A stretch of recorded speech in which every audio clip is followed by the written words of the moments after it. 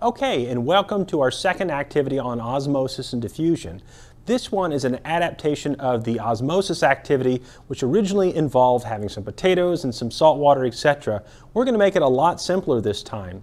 So what you need out of your packet is the baggie with the Orbeez and also the uh, kosher salt. You also need a two or four cup measuring cup full of water. In this case, I have four cups, so I filled it up with all four cups of water. Okay, so once you have your measuring cup and it's full of the two or four cups of water, you want to go ahead and remove your Orbeez or water beads from the bag. Now, these things are non-toxic. It's the same material that they put in disposable diapers, but that being said, it, it is very small and they could pose a choke hazard to young children, so be sure to keep them out of reach. Now what we have here is about a half a tablespoon full of, of these water beads, and we can equate that, I think, to about eight milliliters. I'll go check the math here in a minute. And what we're going to do is we're going to add them to this larger container of water. Now the Orbeez themselves contain lots of solute, in this case a special polymer compound, and that solute is going to suck, right? It's going to suck water to it. Ideally we would do this experiment with distilled water, but good old tap water is fine. So simply remove the top of your container and just pour your Orbeez down into the measuring cup. We're then going to let them sit there uh, for about 6 to 12 hours and then come back and measure the size or the volume that they occupy. Right now you can see that they don't even register on the scale there. Again, that was probably around 8 or 9 mill milliliters of volume that was occupied by these water beads, but that's going to change as they successively uh, swell uh, and absorb water. Okay, now welcome back. It's been about 12 hours since we've added the four cups of water to our water beads or Orbeez, and you can see that the volume has increased quite a bit. So what we're going to do now is drain any excess water and then measure the volume of Orbeez that are left there. So we have here is just a regular colander, and I'm just going to pour these over the sink. Okay, and then I'm going to introduce those back into the original container. A little bit of water is okay. Be careful, they do go everywhere. And then we're going to sit there and try to measure the actual volume that is uh, occupied now by the hydrated uh, water beads. Okay, so here we have our um, measuring cup, and this measuring cup is fortunate to measure both in cups as well as milliliters, but if your measuring cup doesn't do that, we can do a simple conversion. So each cup is about 237 milliliters. Now remember that we started with a container of uh, water beads that was about a half a tablespoon. That's around seven or eight uh, milliliters, so there's 15 milliliters in a, in a tablespoon.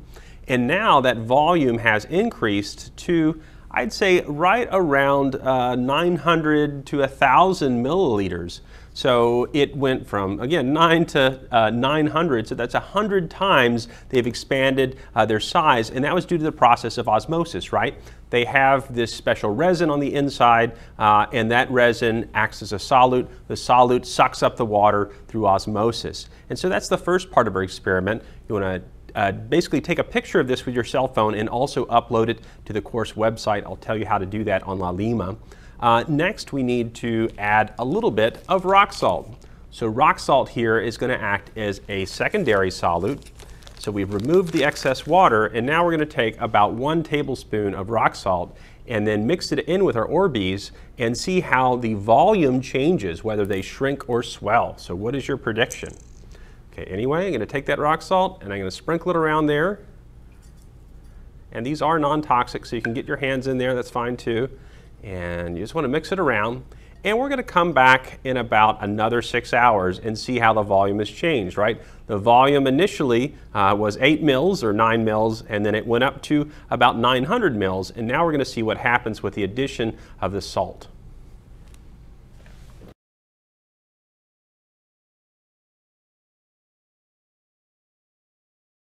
Okay, welcome back. So it's been about four hours since we poured the salt on our water beads, and now we're going to take a look and see how their volume has changed. What you can see first of all is we have a lot of water above the water beads. So the volume of water beads has gone down because remember we poured off all the excess water after we'd hydrated the water beads uh, about four hours ago. So now there's a lot more water uh, in the container because what's happened is the salt has drawn out some of that water through the process of osmosis. So what we're going to do now is pour out the excess salt water and then once again measure that uh, the actual volume of water beads that remains.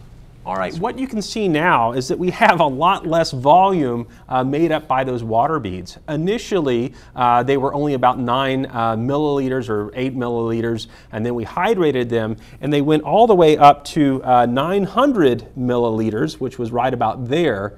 Uh, but now they're down around the 300 milliliters. Again, if you don't have a uh, measuring cup that uses milliliters, you can just use the simple conversion that I used earlier between cups and milliliters. But what we can see now is that adding the salt water in this case, or not salt water, adding the salt has caused the uh, volume of the water beads to shrink uh, from 900 down to somewhere around 300 milliliters. So that is reduced the volume uh, down to about 33% of what it was beforehand. And so that has been through the process of osmosis. If I left them in for six hours, it probably would happen a little bit more. But the point is, is that salt that we put in there uh, act as a solute, and what do solutes do? Solutes suck.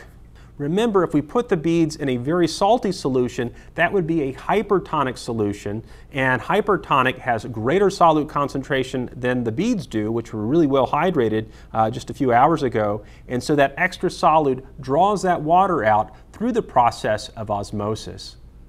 So after you put the salt on your water beads, you want to wait about six hours before you pour off the excess water and measure the final volume. And once you do that, I want you to take a picture again uh, of the dehydrated water beads showing me the difference in volume, and then you're going to post that to the LaLima website with the instructions that I send out over email. As always, if you have any questions, give me a call or send me an email. Talk to you soon.